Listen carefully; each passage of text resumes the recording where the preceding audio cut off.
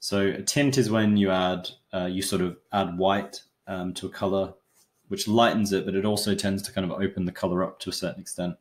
When we squeeze a pure paint out of the tube, or even some of these mixtures, um, we can't quite see what type of purple or what type of um, blue that we're, we're, we're sort of working with and looking at. So we need to create tints to, to have a better idea of that. So I'll start with my yellow tints because I've already got my yellow mixture up here. Um, but basically you just take your the mixture that you're using, add a bit of white to it and paint it on.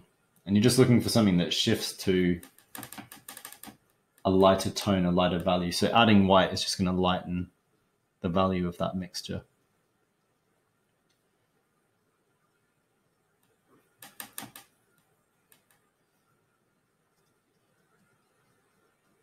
And about that much of a shift is pretty good for a, a tint. So then if I need to make a tint of the um, mixture that's more yellow, I'd add a bit more yellow, which might then darken it. So I then, then need to take a little bit more white, add white to that more yellow mixture, paint that tint on.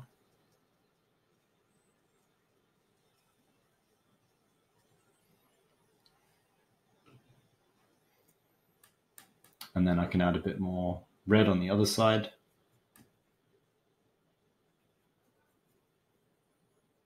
Add a bit of white to that. And that's going to make my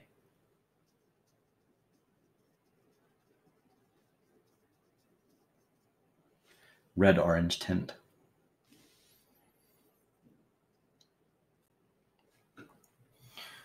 And then I also need to add my pure um, tint, so a tint of that pure yellow. Um, I want to clean my brush off or have a reasonably clean brush for this stage.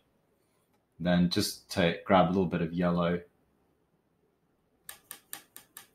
Don't mix it with anything apart from white, so you just add a little bit of white.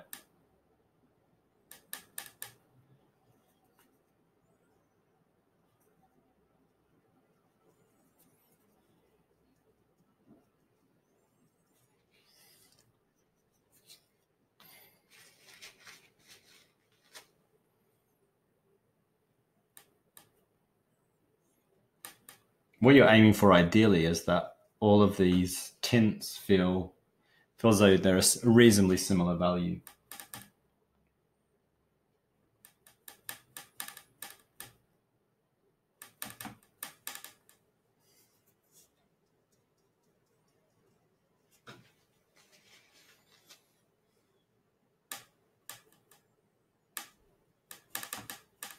So value being how light or how dark something is.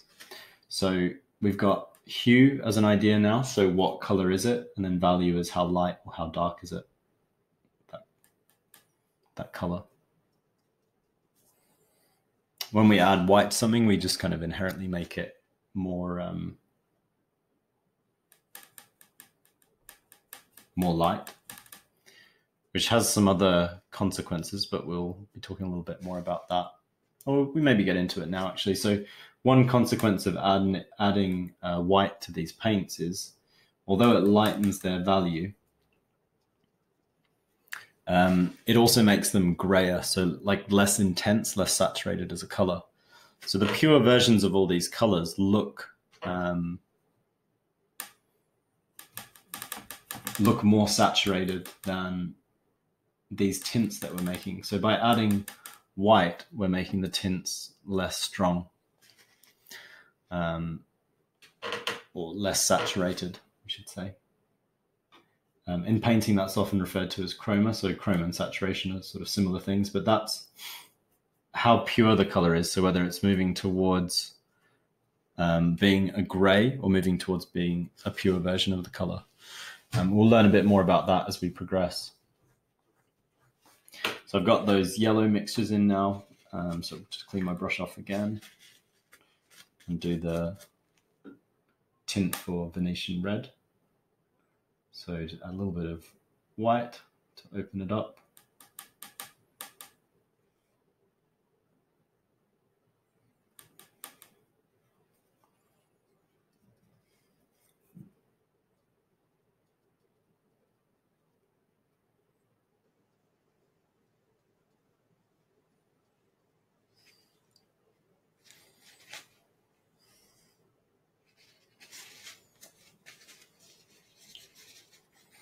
And that gives us our tints between yellow and red. And you can just carry on working around the circle in the same way. If you find that your palette starts to get a bit sort of uh, cluttered with paint, you can just take a bit, bit of mineral spirits or your medium mixture, some kitchen roll, and just wipe it back. Um, because we're doing a lot of kind of complex, not complex, um, a lot of specific mixtures of specific colors. At this stage, you want to keep your palette reasonably clean. Um, when we move into doing the sphere, we're going to be using mostly muddier colors. Um, so you won't need to clean your palette as much. It's just this stage.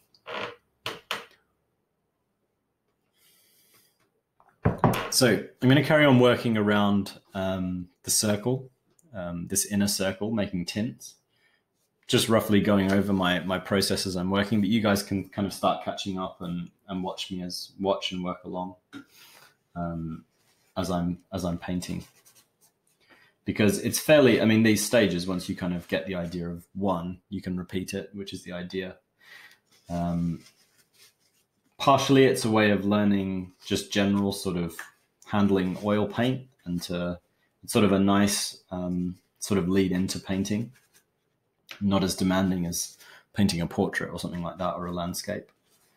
Um, so you can get a bit more familiar with how it feels to paint in oils. But also, this is actually a very useful little exercise that you can use for any set of paints that you're working with. Um, because what we're going to learn from this is what the extent is of color mixtures that are possible within this set of paints. So whenever you establish a palette, you choose your colors, um, you create limitations. So there are going to be limitations in this palette. Um, you can sort of already start to see some emerging. We can't get a really bright light um, purple with this palette, um, which we'll see as we mix when I do these mixtures. Um, we can't get a very strong orange. It's kind of a fairly muddyish orange. We can get quite a bright green, so that ultramarine to the yellow um, as green transitions go quite bright. If you've got different paints to me, you'll find you'll get a slight variation in what's possible with your palette. Um, but from those possibilities, we can then start to kind of map when we start working on the sphere what what we can possibly do, how we can paint our sphere as we're painting it. Um, so these these color exercises, they're sort of they're called triad wheels, um, triadic color wheels. Um, you can make uh, quadratic, I think. So you have sort of four colors, you can do five colors, and it, that can open up more possibilities in terms of color. Um, but it, it's useful to kind of understand the limitations of the colors that you're working with and what happens when you mix them as well. Um, so when you're starting painting it, it's good to use limited palettes um, like this because you can learn a lot about the individual color mixtures and what's possible with those mixtures. Very often when you start painting, you get given these um, you get these painting sets that have loads of different paints in them. Um, but it just gets quite confusing and can be a bit sort of overwhelming, I think. Um, so it's better to kind of work with a limited number of um, proper artist quality paints um, and learn about the, the properties of those paints. And that's why these paints are all sort of selected to be reasonably affordable. So they're good quality paints on, on the list, but um, they're all series one, so they're not too expensive.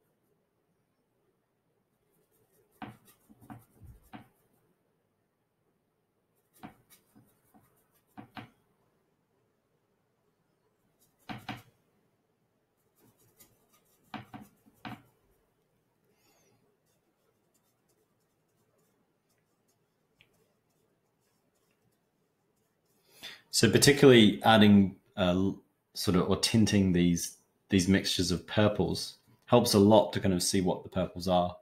So when they were much darker, um, it's difficult. I mean, it's not necessarily always perfect in the video reproduction, but even in real life, it's hard for me to see the exact difference between these four colors. They're all quite dark.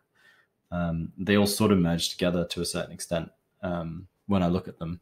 But adding a little bit of white to them opens them up a bit, and I can kind of see what the, the qualities are of those hues. So I have a better idea of what's going on with them. So that's it for those in-between mixtures. I'm just going to clean my brush a bit and do a pure ultramarine tint.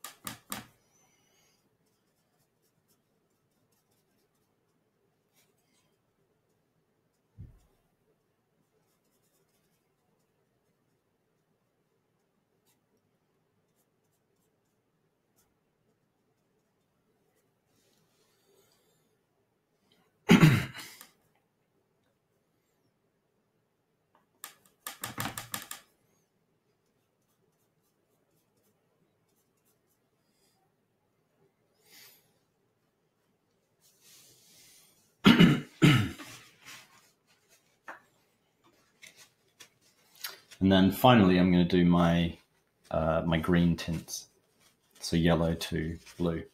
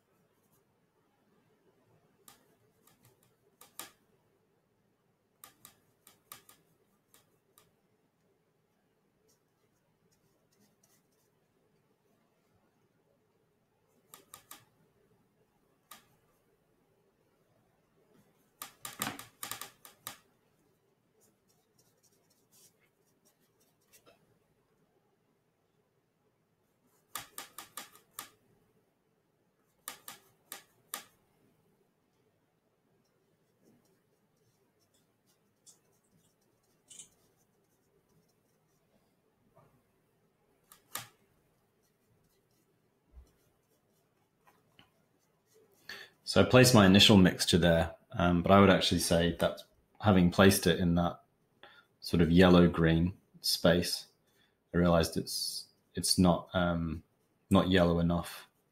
So I've shifted it up to the, the second place and I'll mix a, a more yellow version.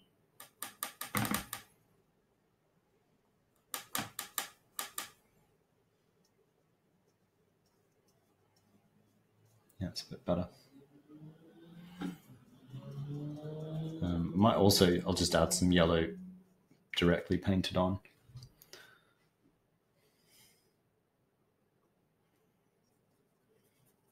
Not too much.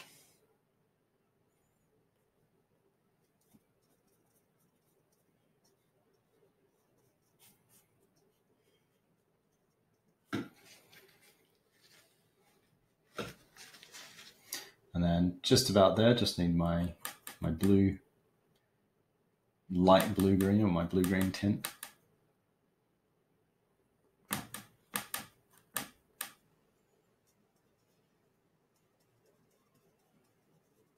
So it's not too bad, but it's probably not not blue enough.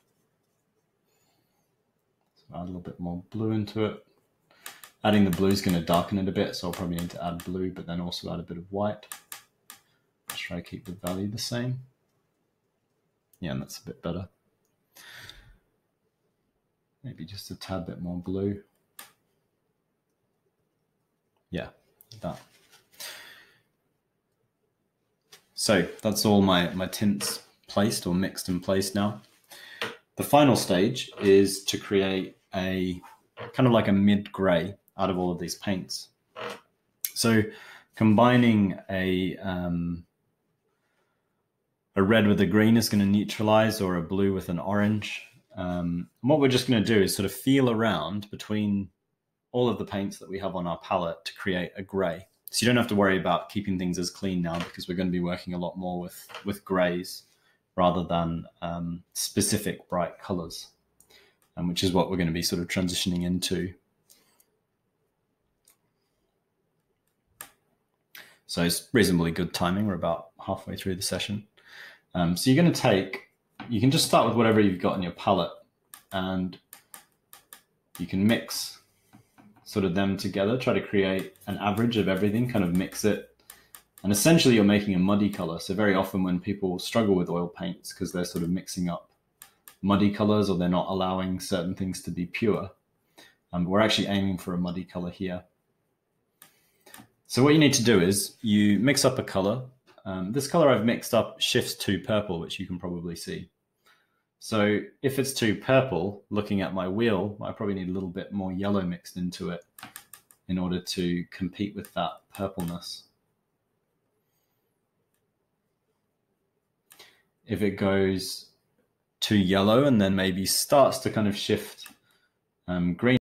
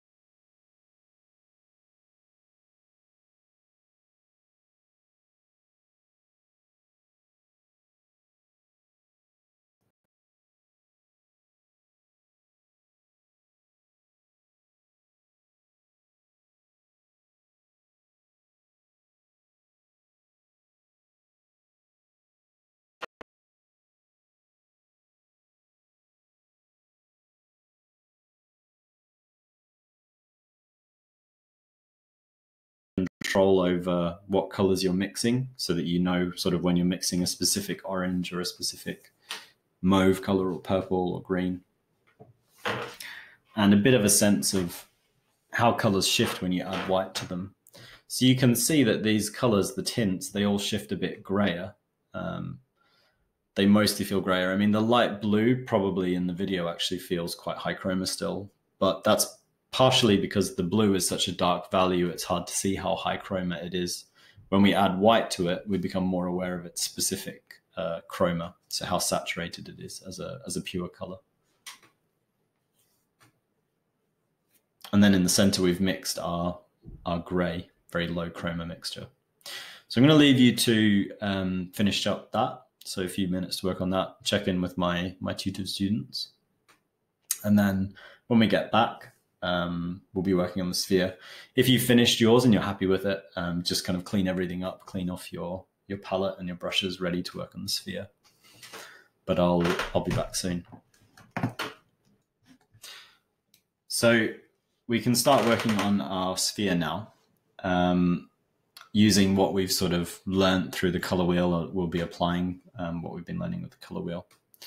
Um, and what we need to do first is establish a direction of light that's going to be hitting the sphere, and then the sort of shadow that's going to make on our sphere. And it's going to be, if you think of a crescent moon, um, the moon is in crescent because at a certain certain times the light, uh, the sun is kind of angling at it in different ways. So it's either full on or we just see a sliver of the edge of the moon, um, or we see a new moon. And we're going for something that's kind of like a, a sort of a third crescent shape on this sphere. So you can sort of just see something like that. So that starts to turn the circle into a sphere. So a little bit lower than sort of halfway, and then this kind of this curved shape. That's going to be our our shadow of the sphere. So basically, the light is coming from up that direction, the top right hand corner.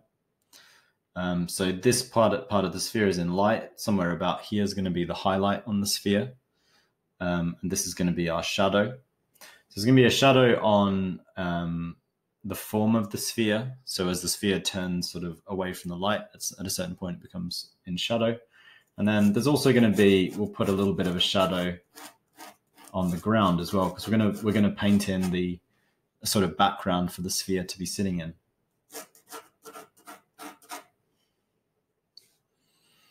So that's going to be our ground shadow.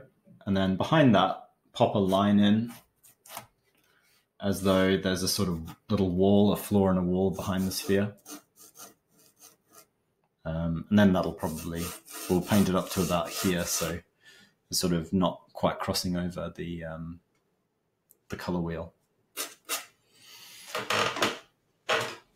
and so what we're going to go for is this is going to be our kind of light part of the the sphere. This is going to be the shadow of the sphere, this and this portion there. This is going to be a light gray, and this is going to be a darker gray. Just to give the impression that the light is sort of falling from above, so it's making this light ground plane on the floor, and then the plane behind the sphere is going to be in shadow. And we're going to start with that. So kind of moving back to our um, our greys that we're already painting, um, you can take maybe a fair, one of your larger brushes if you have a reasonably large brush um, to paint in your background because it's going to be the biggest section.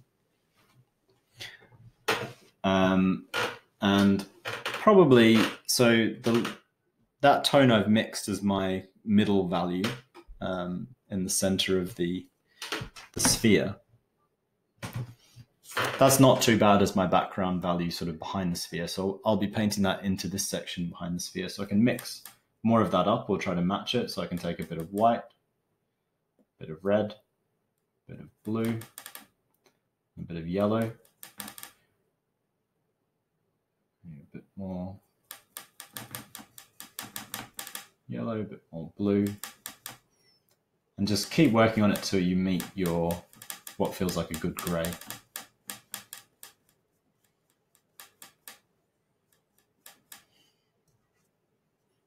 Um, that's actually what I mix is actually quite light. Um, might work quite well for the, the floor plane. So I'll use that for the floor plane instead.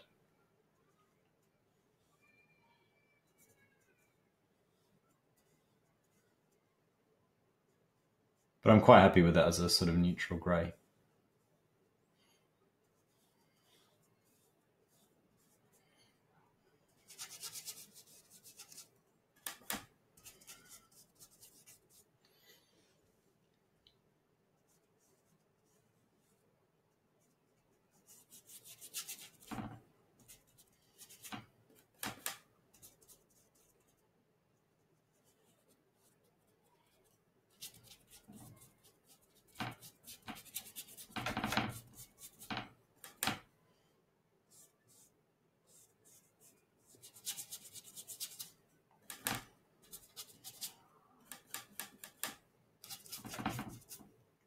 You run out of that mixture, just mix up another version of it.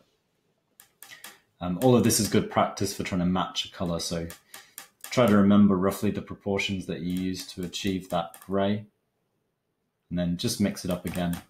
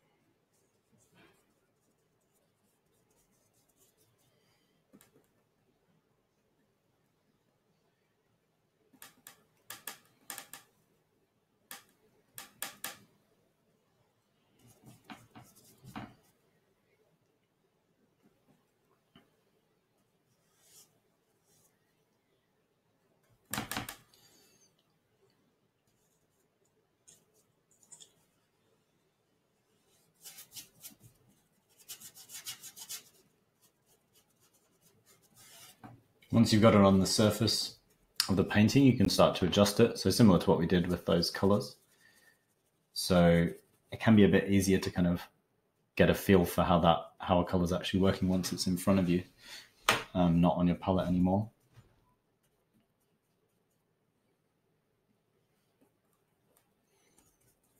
Um, and you can paint like before. You can sort of paint. Say I want to add a little bit more yellow into this. I'll just paint the yellow directly on. Just take a little bit of it and sort of dab it over. And blend that in.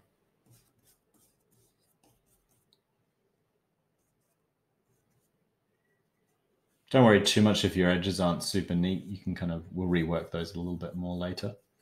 So once you're happy with your ground plane color, you can then try to mix up a darker version of that. So you want to try to keep it feeling like it's a similar gray, um, but it's just a bit darker.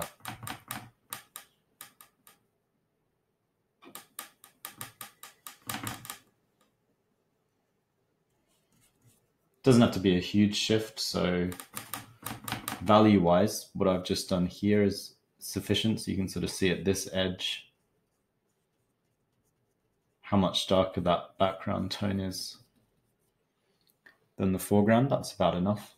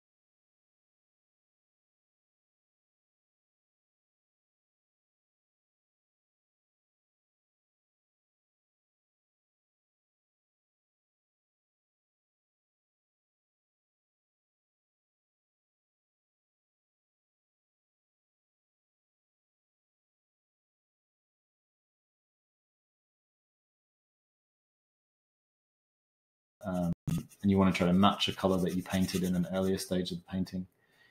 Um, if you know how you made it, it's a lot easier. Saves you a lot of time rather than sort of fumbling around trying to match a color. And as a general rule, the simpler your color mixtures are, the better, just because it's easier to remember a simple color mixture than a more complex color mixture. Which is why reason again why reasonably limited palettes are useful certainly when you're first starting out. As you get more advanced, you can sort of incorporate more unusual uh, colors. But I recommend when you're first starting out with oils, try to keep things as simple as possible um, and get to know those a small number of colors really well before adding new paints. You generally learn a bit better what you actually need as well, um, like what you're missing from your palette. If you're definitely missing something, it's it's always worth adding to it. But if you can achieve um, the same color with your current palette, it can often be a better idea to just stick with a, simpler palette. So that's our gray background painted in. And the next thing I want you to do is mix up a dark gray shadow tone. So a shadow that's going to be on the, the floor of the, the setting basically.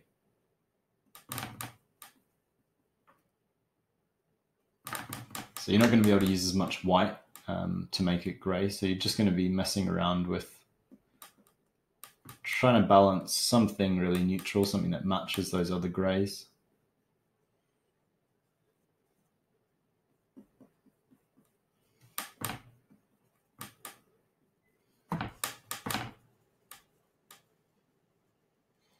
And you're just going to put it in that little sort of oval that we drew in for the, the shadow that the sphere is casting on the ground.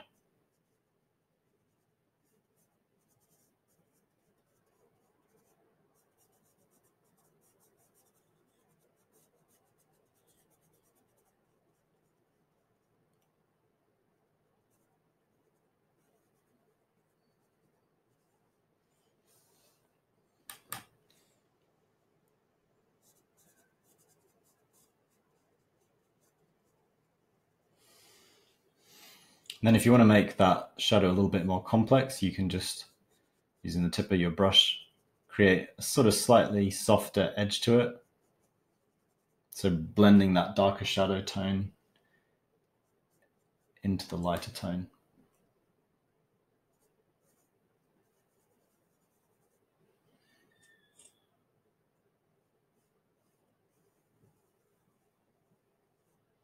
Um, and if you can, try to get to feel a bit softer further away from the sphere and a bit sharper near the sphere edge. Um, it's not not vital. That's a slightly more uh, sort of advanced thing to be to be doing. But if you can, that's great. Um, and then you also want just a slightly darker, the sort of darkest accent to be just right below the bottom of the sphere. So try to mix up a slightly darker tone.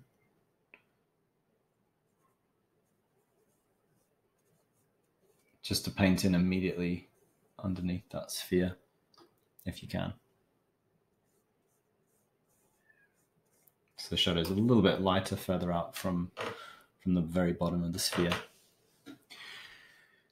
So that roughly gets our background mapped in.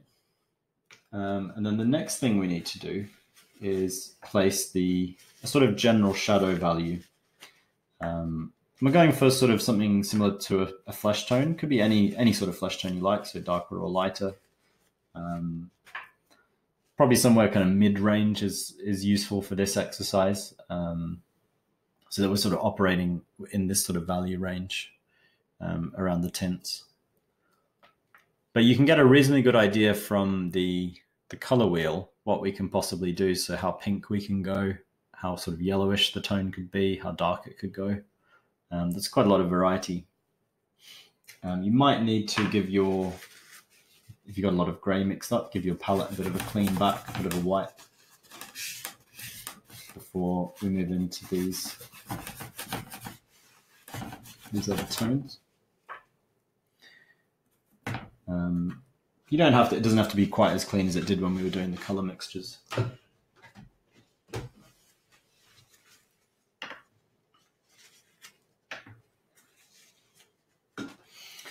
And then what we're going to be going for with these shadows is generally, because it's more of a flesh tone, it's going to be something tending towards a more kind of brownish or orangey tone and not as blue.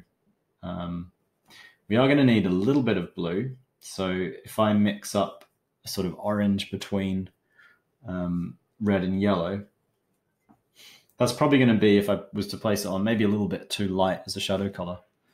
So to darken it, I need to add a little bit of blue. I don't want to add so much blue that it totally sort of neutralizes the color out, but just enough blue to make it feel like a darker brown.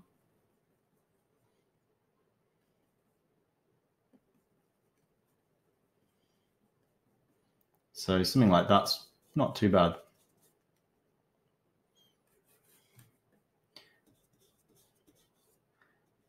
And initially, we can just paint our shadow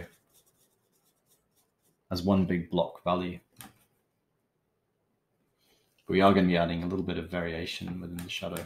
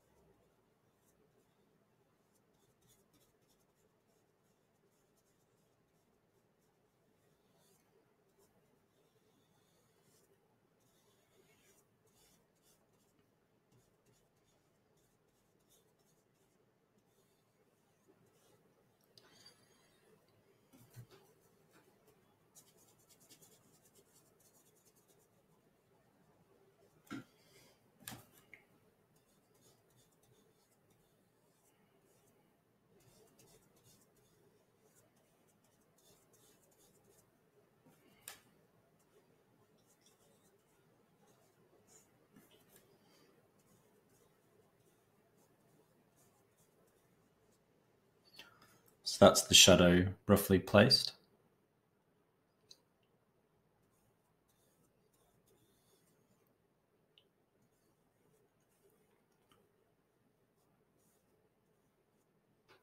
Um, so I'm just going to check in, let you guys carry on with that. I'm going to check in with one of my tutored students. So I'm just going to open um, the breakout room, Paula.